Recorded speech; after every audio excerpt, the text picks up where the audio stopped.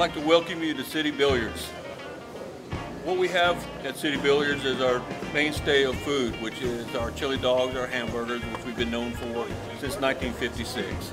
Now we have more food, more tasty food, and a better assortment of food.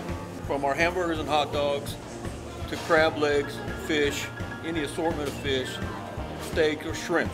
We do offer daily specials, an all-inclusive meal uh, between pork chops, uh, hamburger steaks, or any other assortment of food that you might want.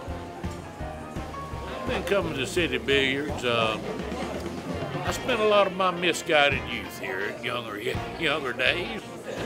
It's a well-established place that is great camaraderie.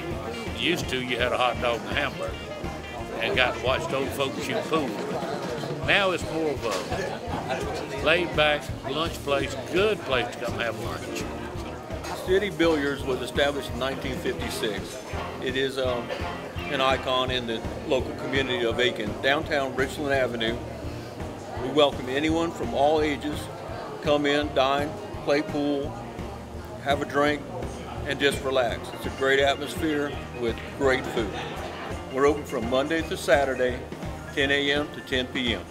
So come eat with us. We would enjoy to have you.